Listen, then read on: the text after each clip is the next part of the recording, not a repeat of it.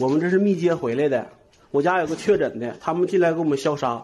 现在我家所有东西都没有了。网上视频显示，一位密接者被隔离回来后，发现衣服、窗帘、被褥、冰箱里的食物等等都不见了，家中六千元人民币也不翼而飞。他找社区和物业，还有负责消杀的部门，都没人理会。我真的都气得发抖了。我买的油、米、来，全部都没了。花钱买的东西，全部都没了。另一段视频显示，一个女人隔离回家后，发现地上一片狼藉，花钱买的东西都不见了，气得她痛哭失声。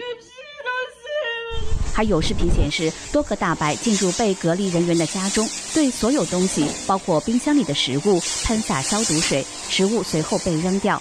江苏省徐州市睢宁县宣传部工作人员坦言，这件事发生在当地，强调这是经过专家指导后执行的，并声称把民众食物全扔掉是一种正常的处置方式。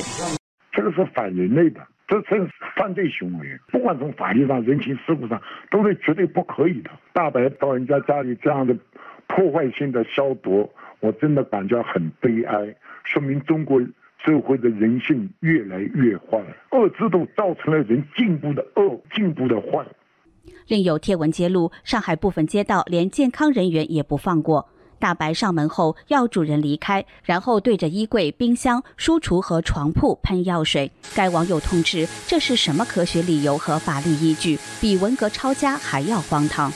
借文革之名行抢劫之时，他们实际上是暴力而来的了，来消杀，把你家里的那些财物啊什么之类的弄得乱七八糟，或者毁坏，或者缺失什么之类的，那肯定是。无法接受的。消杀的目的是什么？应该是防疫，你不能损坏人家家里的财产。也有网友在微博转发有关禁止非法侵入公民的住宅等宪法条文，结果被删。经台人记者陈杰、李珊珊、周天采访报道。